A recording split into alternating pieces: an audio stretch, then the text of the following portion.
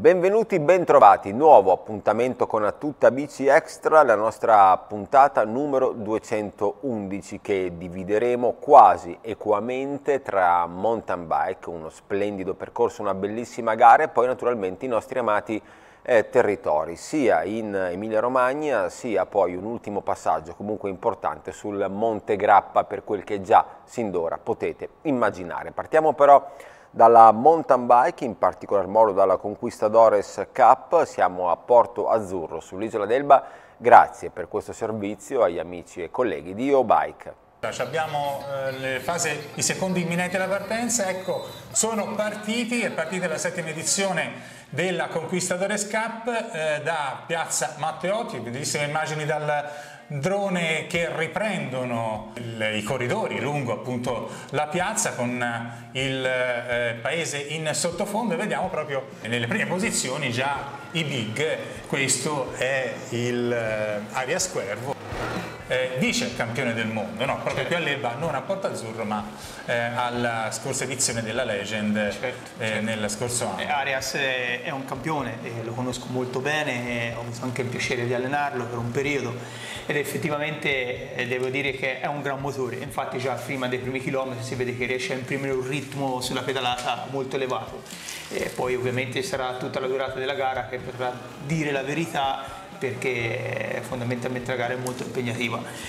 E qui in seconda posizione eh, abbiamo, perlomeno nel gruppetto di testa, abbiamo già i big della, della gara, ovvero Aria Squervo, Leo Paez, Riccardo Chiarini, Francesco Casagrande, Jacopo Billi, Massimo eh, Rosa, Daniele Menzi, Dario Cherchi della KTM. Qui abbiamo ancora Aria Squervo in, eh, in testa alla al primo gruppetto che sarà verosimilmente Alex il gruppetto che poi prenderà il largo certo. la via che si prospettano le varie salite no? Sì, vedendo anche un po' i tempi e le velocità che hanno avuto non potendo vedere i vantaggi però fondamentalmente sono andate veramente forte questo gruppetto di testa ha fatto una grande differenza sul gruppo da qui, da qui si eh, continua la salita per il tratto che tra l'altro questo è un tratto nuovo che viene fatto quest'anno per dare un po' una eh, variabilità a quello che è il percorso appunto del, dei classici due anelli previsti, due anelli da 32 km per un totale appunto di 64 km. Qui si entra nello sterrato, un tratto che sta creando eh, ovviamente qualche problema ai primi eh, corridori, tanto, tanto, è vero che il nostro operatore insieme al motociclista del quad eh, hanno pensato bene di far passare tutto il gruppo, un gruppo che è composto da una ventina di ciclisti, qui siamo sulla scalinata, la scalinata che riporta poi verso il lungomare di Porto Azzurro. Ed ecco qui, al laghetto di Terra Nera, il primo passaggio eh, spettacolare, con la ripresa dall'alto, con eh, i primi che eh, si stanno un po' sfilando e stanno cominciando a definirsi un po' le griglie. Primo in testa ci sarà eh, lo vediamo con il casco giallo, il corridore della Scott Racing Team, Jacopo Billi, che sta facendo un po' il, eh, che sta tirando appunto il gruppo. Alex. Eh, qui vediamo sì che la parte scorrevole è terminata, ora comincia la, la, parte più pendente dove effettivamente qui le doti del, del cross cartista, fondamentalmente dello scalatore nella mountain bike sono fondamentali. Comunque il ciclismo anche da questo lato della mountain bike è cambiato, fondamentalmente una volta venivano tirati i rapporti un pochino più lunghi, oggi tendenzialmente le gambe tendono sempre a girare molto veloci. Questo vuol dire che per sviluppare watt si attaccano molto agli RPM e questo indica che l'atleta deve avere delle grandi doti cardiorespiratorie massimo tutte le maniere. Quindi non solo gambe ma anche polmoni sì, sì, tanta parte e saperli usare anche eh, i polmoni. Sì, no? sì, senza dubbio. Ed ora, sempre dalle immagini spettacolari del laghetto di Terra Nera, siamo appena partiti, siamo a pochissima distanza dalla da, dalla linea di partenza, pochi chilometri dalla partenza. Ecco, vediamo il primo passaggio anche del, delle donne con Annabella Stropparo, una veterana tra l'altro eh, vincitrice, detentrice della vittoria per quanto concerne la Conquistadores Cup nel 2021, seguita però a ruota da Chiara Burato che la vediamo impegnata in, in questa rincorsa, in questa salita. E tra l'altro il terreno è anche impegnativo eh, quello dell'Elba perché è molto, Mol, molto duro, tecnico, molto, molto duro, eh, effettivamente è anche dal lato anche scivoloso, sia in salita che in discesa non ti permette di erogare il massimo ed esprimere il massimo della potenza a terra perché devi gestire bene diciamo, il peso de, del tuo corpo, quindi trovare il baricentro giusto per evitare di andare anche a vuoto, non essere così efficace nella pedalata. E sotto l'arco del laghetto di Terra Nera vediamo l'altra coppia di inseguitrici, ovvero la Deborah Piana, seguita a ruota da Silvia Scipioni, Silvia Scipioni che da quest'anno non, non, fa più parte degli amatori ma anche dal colore della maglia con cui la Ciclita Day distingue i professionisti dagli amatori la vediamo proprio tra eh, le, le categorie appunto dei professionisti questa coppia sta inseguendo, è un po' attardata ma è comunque a pochissimi secondi dalla coppia di testa che è appunto Annabella Stropparo e Chiara Burato. Qui siamo nel percorso che porterà poi verso Capodarco e siamo nella zona dei Carpini, eh, questo tratto abbastanza impegnativo come salita, però molto scorrevole sia come fondo che come strada, quindi non è tecnico, ancora la selezione dovrà essere fatta nei percorsi, nei tratti diciamo successivi. E qui vediamo proprio Chiara Burato che ha raggiunto una bella Stropparo e è riuscita a superarla e, sì, sì. e a mettersi alla guida. Come si può vedere no? anche qui le differenze nelle cadenze da atleta a atleta proprio legata alle proprie caratteristiche. Certo la Stropparo metterà anche in gioco la sua capacità di, di capire l'effetto come si di strategia di gara proprio per la sua esperienza. C'è da dire anche una cosa, che Annabella Stropparo è, è arrivata a questa gara non in perfette condizioni di salute e quindi il suo obiettivo a inizio gara è quello di onorare il, la gara per, eh, anche per un po' che per quella che è sua, il suo prestigio. E siamo arrivati a Capodarco con eh, il passaggio degli, degli uomini, abbiamo visto il passaggio appunto del primo gruppetto, quello di testa, con Massimo Rosa, Riccardo Chiarini, Francesco Casagrande, Daniele Menzi, Jacopo Billi, Leonardo Paez e Dario Cherchi. E, e qui il gruppetto si è ulteriormente assottigliato, adesso sono in sette che si daranno battaglia, questo tra l'altro è un tratto pianeggiante dove magari riprendono anche un po' fiato. Sì, un gruppetto di tutto rispetto e effettivamente la strategia che può essere nella testa di ogni atleta è un po' legata anche alle gambe del nostro avversario, no? fondamentalmente, quindi i corridori sono veramente eh, esperti anche da questo lato e questo fa il professionista e poi lo, vedrei, lo vedremo nello sviluppo della gara, nello svolgere della gara quanto questo è reale al 100%. E a Capodarca arrivano anche le donne, abbiamo detto con la coppia di testa, Chiara Burato e una bella Stropparo, il passaggio al cancello di Capodarco. Successivamente vediamo proprio a poca distanza le altre due inseguitrici, Deborah Piana e Silvia Scipioni. Sono praticamente loro quattro che poi faranno, che sembra che possano fare la, la competizione no? nell'ambito femminile. E intanto quello che si vede è che la gara sta prendendo forma anche nelle prime file delle donne. Qui è sempre un tratto di Capodarco, nella zona di Capodarco, ancora un passaggio degli uomini. Passaggio con il gruppo di testa è Jacopo Billi, Riccardo Chiarini, Daniele Menzi, Leo Paez, Francesco Casagrande e Massimo Rosa. Tra l'altro bellissime queste immagini dal basso e poi si vedono sfilare i vari corridori sul tracciato.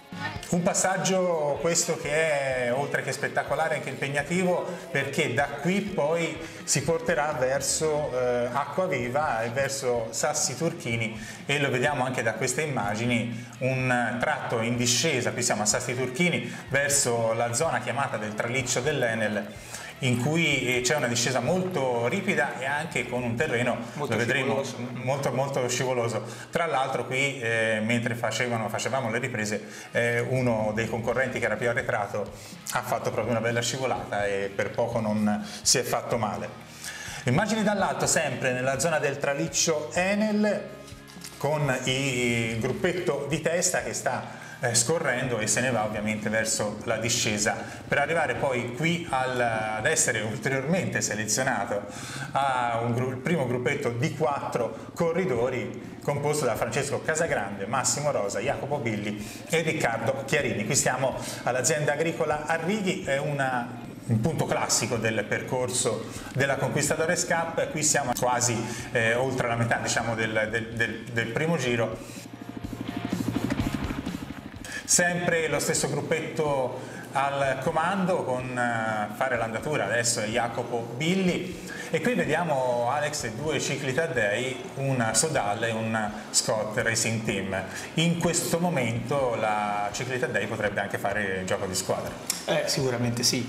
Eh, considerate che avere un compagno di squadra a fianco a noi è sempre anche uno stimolo mentale, fondamentalmente aiuta tanto, è la parte di appoggio, d'aiuto in qualsiasi situazioni ci si possa generare. Certo nella mountain bike ci possono essere tante inconvenienti, tante variabili perché qualsiasi cosa, appunto la scivolata, la caduta, la foratura, qualsiasi cosa sia, però eh, in realtà se tutto va come dovrebbe andare anche con l'apporto della fortuna che è giusta, la differenza l'atleta la fa sempre e avere un compagno di squadra accanto è fondamentale. È importante. È importante. Qui abbiamo visto il passaggio appunto eh, sotto l'arco di Piazza Matteotti con eh, il passaggio appunto degli uomini e delle donne tra le donne in testa ancora Chiara Burato seguita da uh, Deborah Piana e poi abbiamo visto una bella Stropparo un po' tardata ma comunque a, a, ruota delle prime e questo è Tony Longo Tony Longo che lo vediamo da solo ma in realtà lui sta facendo una gara eh, per recuperare il gruppetto che eh, è in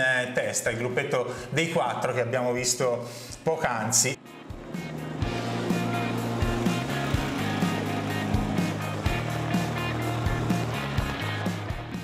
Eccolo, questo è il gruppetto che eh, deve essere recuperato e deve essere eh, raggiunto da Tony Longo.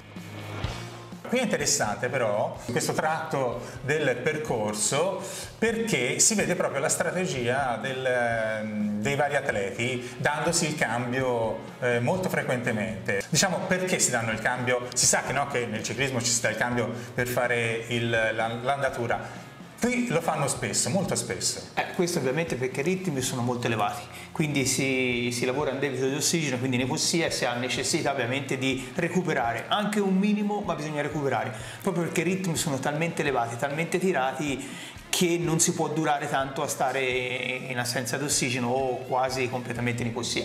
Quindi in realtà i cambi, certo nel ciclismo da strada c'è la velocità stessa, stare a ruota, qui no, perché spesso si lavora in pendenza, in salita, quindi in realtà non è una, una, un discorso di prendere scia, qui è proprio un discorso di, del ritmo e darsi il cambio è fondamentale. Con questo credo che in realtà il compito arduo di Longo eh, sia un bel impegno riuscire a, a riprendere un gruppetto così, così qualizzato che riesce a fare la differenza in questo momento.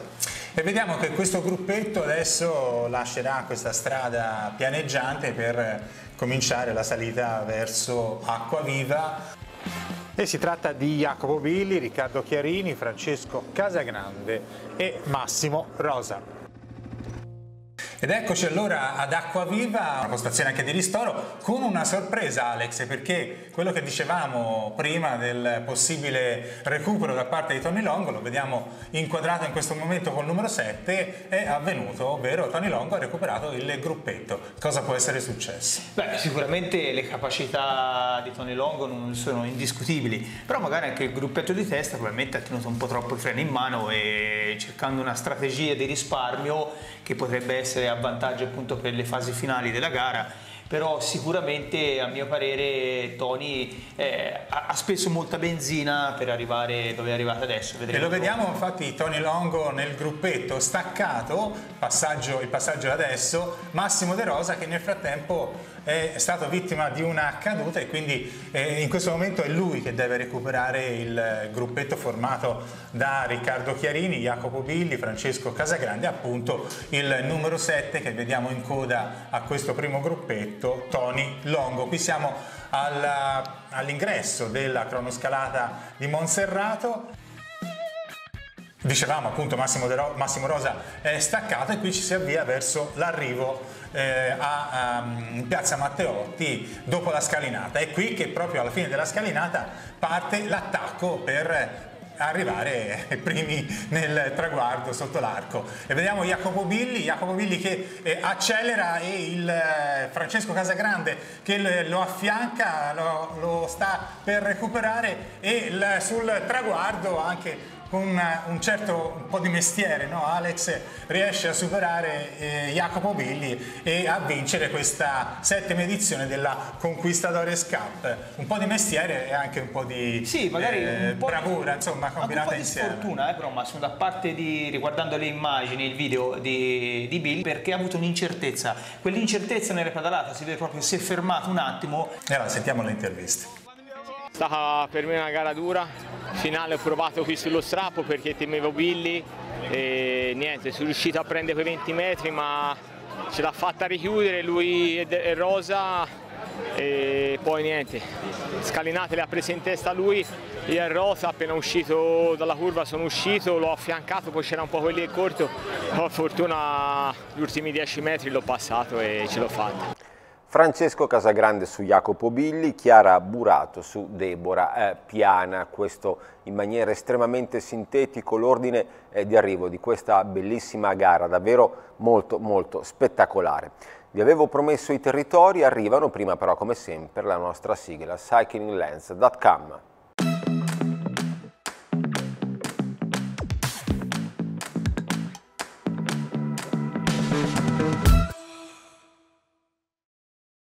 Ed iniziamo allora con l'Emilia Romagna, la ciclovia delle Terme. Andiamo a chiudere un piccolo ciclo di quattro clip, in realtà sul canale YouTube, oltre a tutte le precedenti puntate da tutte bici potete trovare anche tutte le altre, questa è dedicata in particolar modo agli hotel bike friendly che potete trovare lungo il percorso della ciclovia che, lo ricordiamo, lo vedrete in grafica anche tra brevissimo, unisce eh, due località termali, Riolo Terme a Castrocaro Terme.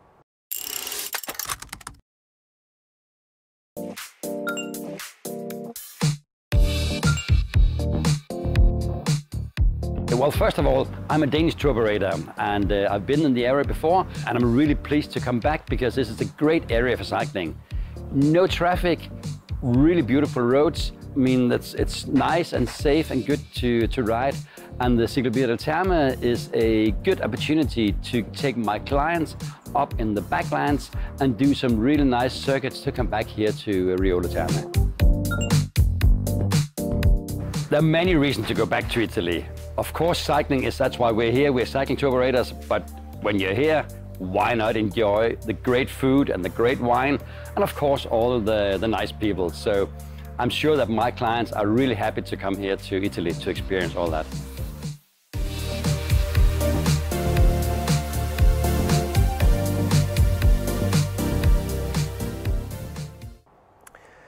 Dalla ciclovia delle Terme alla ciclovia Romagna-Toscana che origina sempre in zona Castrocaro ma come dice il nome appunto è pronta a passare il confine. Proprio sul confine la nostra guida in questa breve clip ci racconta la storia del luogo, la storia di quel luogo in particolare. Passando in bici da soli potrebbe non dire nulla, con una guida ovviamente i racconti anche storici eh, sono ben più eh, approfonditi. Spesso allora al di là della scoperta del territorio e del percorso in sé per sé eh, conviene proprio questo percorso pedalarlo insieme a qualcuno di esperto che conosca quei luoghi, che conosca queste interessanti storie.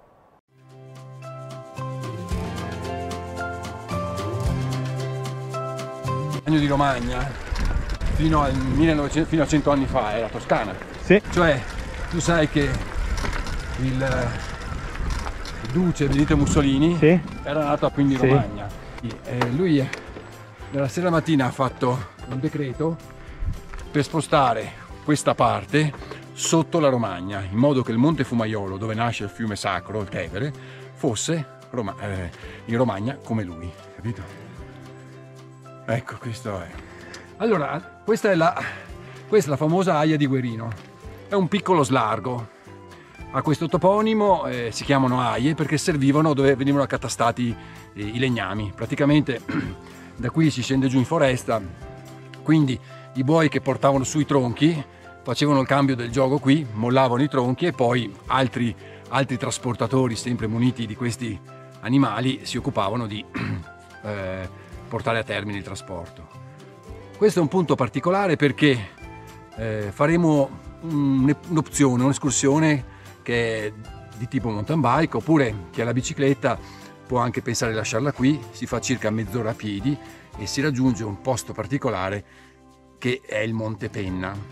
Una particolarità, eh, ci sono molti toponimi che eh, si chiamano Penna. Il Monte di Laverna di San Francesco si chiama, che è distante in linea d'aria qui 15 km, si chiama questo Monte Penna. Vi da chiedersi perché Penna Penna. E beh, è una curiosità eh, che si può anche un attimino svelare. Siamo sull'Appennino, ancora c'è il toponimo Penna in mezzo, perché Penna è un toponimo molto antico e sta a indicare la montagna e, e, eh, in particolar modo quella montagna che eh, esce come uno scoglio, esce come un dente rispetto a tutti gli altri rilievi.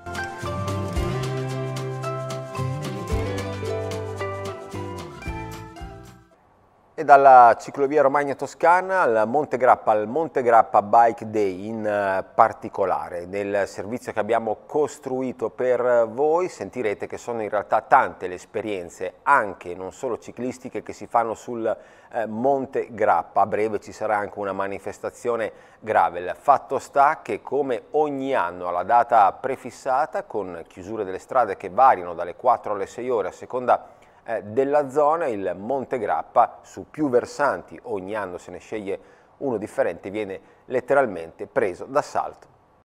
A Bassano del Grappa era l'ottava edizione del Monte Grappa Bike Day, una delle giornate non competitive dedicate alla bicicletta da strada in montagna più note e partecipate d'Italia ed Europa. Sicuramente la prima in termini numerici interamente ospitata nella regione Veneto.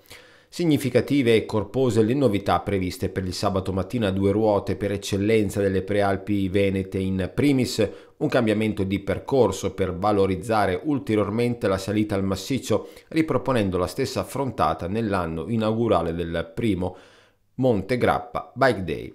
In totale l'impegno giornaliero per l'intero percorso è stato pari a circa 2000 metri di dislivello positivo per 106 km di lunghezza, di cui circa 70 chiusi al traffico in diverse fasce orarie che seguono il flusso dei partecipanti, quindi da 4 a 6 ore al massimo. Il percorso consigliato e chiuso al traffico è partito dal centro di Bassano del Grappa. Dal punto di vista storico e culturale si evidenzia che l'ascesa consigliata dagli organizzatori e prevista nel gruppo come consueto attorno alle 8.30 ha unito la chiesa e tempio ossario di Bassano del Grappa al sacrario militare di Cima Grappa, due luoghi iconici della Prima Guerra Mondiale, ora rilevanti attrattori per il turismo internazionale. L'alternanza dei tracciati di questo evento fra le diverse opzioni di salita e discesa che può offrire il Monte Grappa con le sue 10 varianti note agli appassionati raramente è dettata da ragioni tecniche o di sicurezza. Secondo il desiderio degli organizzatori è invece lo scopo di far comprendere le numerose qualità del vasto comprensorio che circonda il celebre massiccio ad un pubblico sempre più ampio, allo scopo quindi di affermarlo come destinazione ricercata nella geografia degli eventi e degli itinerari ciclistici di significativa qualità tecnica ed ambientale, spronando a tal scopo lo sviluppo sostenibile di percorsi idonei alla pratica degli sport in bicicletta e di adeguati prodotti turistici. Dopo aver raggiunto i primi due dei tre ristori previsti, Campo Croce naturalmente Cima Grappa, il comitato organizzatore ha previsto per la prima volta il pasta party in alta quota 1600 sul livello del mare presso il rifugio Scarpon, collocato al quarto chilometro della discesa. Qui è stato possibile ricaricare anche la propria bike, disponendo ovviamente del proprio caricabatterie grazie ad apposite colonnine.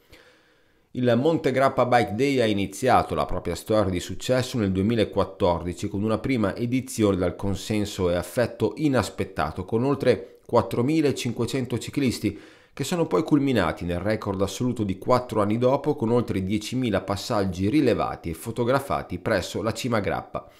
Da allora la Montegrappa Bike Day ASD ha arricchito il proprio calendario di attività organizzando eventi anche in notturna come già da diversi anni, ad esempio il Montegrappa Bike Night, quest'anno in programma il prossimo 23 luglio, giornate dedicate alla corsa come i Brenta Run Day, ma anche in bici sulla neve al tramonto come la Lem Winter 2022 che si è svolta lo scorso 26 febbraio. L'anno in corso vedrà infine un'altra novità, il debutto del primo Monte Grappa Gravel Day il prossimo 2 luglio. Nel corso degli anni la manifestazione ha potuto contare sulla partecipazione di numerosi atleti di diverse discipline, compresi alcuni grandi del ciclismo come Alessandro Ballan e Gilberto Simoni, solo per citare due dei più famosi che amano e frequentano da sempre il Grappa. Insieme a loro anche un bel numero di giovani promesse, quest'anno è salita sul grappa Deborah Soligo, nea campionessa italiana di ciclocross. Insieme a lei, ad esempio, anche il colonnello Carlo Calcagni, già atleta paralimpico che lotta contro una malattia generata dall'uranio impoverito. Immagini spettacolari che danno l'idea di come il Monte Grappa venga preso d'assalto appunto, ma soprattutto della grande passione, del grande link sempre più consistente, sempre più potente che c'è tra ciclismo, appassionati di ciclismo e territorio. Era l'ultimo servizio per questo nostro appuntamento numero 211 con la Tutta BC Extra. Noi ci vediamo come sempre la prossima settimana.